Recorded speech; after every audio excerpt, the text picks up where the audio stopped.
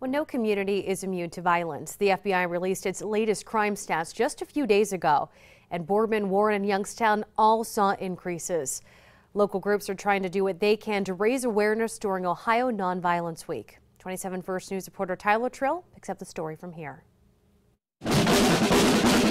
Ohio Nonviolence Week started with a parade throughout the streets of downtown Youngstown. 71 groups were involved, some holding signs remembering loved ones, others simply asking for no more violence. They want people to remember that words are powerful. We need to look at ourselves and watch the language that we use, not just kids, but adults. The Bureau of Justice Statistics says 1.4% of blacks and 1.1% of whites were a victim of violent crimes in 2014.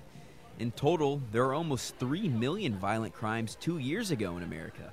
The most important message in the world is nonviolence as a way of life. Minnijean Brown Trickey sat in the parade's lead car. She was one of the nine African American students who persisted to attend an Arkansas high school after the schools were segregated in the 1950s.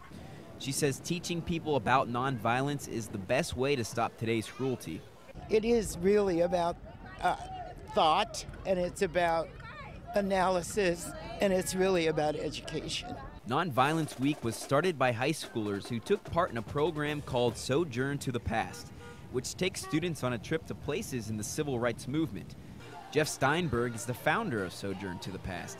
He says dialogue is a key to stopping violence, which is why he wore a Black Lives Matter shirt today. We have to sit down together. We have to be able to hear the other side. Members of the nonviolence movement hope to spread their message with events throughout Youngstown all week long.